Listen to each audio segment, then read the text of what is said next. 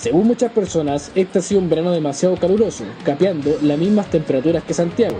Nuestra comuna y su gente, a veces por motivo de trabajo o por realizar algún trámite, tienen que obligatoriamente caminar por el centro.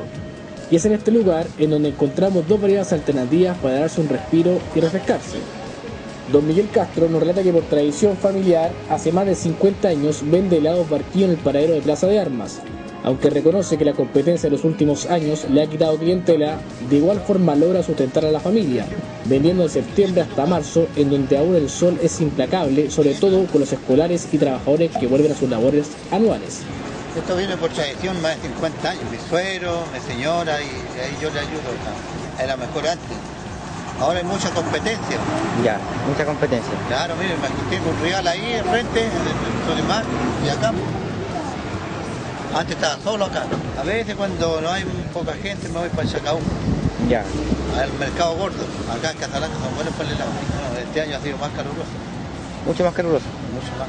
Ya. Este año en comparación a los anteriores. Al, anterior, con los precios y la sequía de último tiempo, cuesta mucho que la gente pueda consumir frutas y verduras, aparte de los costos, también está la mala calidad y escasez de los productos. Es por esto que Elizabeth, junto a su marido, ya llevan bastante tiempo vendiendo los llamados postres individuales y porciones de ensaladas que a tanta gente le gusta cuando salen del submercado del sector.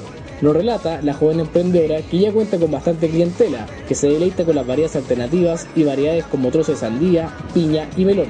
En eh, sí, nos va bien, tenemos nuestra clientela, porque la gente que sabe que, hay un trabajo limpio, eh, un trabajo dedicado y dependiendo de la fruta y, las verduras que hayan en la, temporada, eh, es lo que se vende durante el verano, pero hay esta clientela, también son cosas sanas, que es lo que se implementa en este tiempo.